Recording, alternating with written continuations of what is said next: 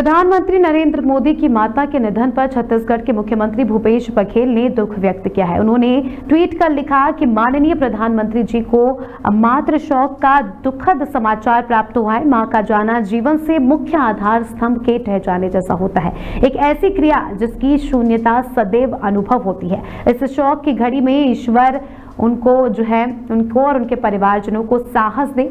माता जी को श्री चरणों में स्थान दे।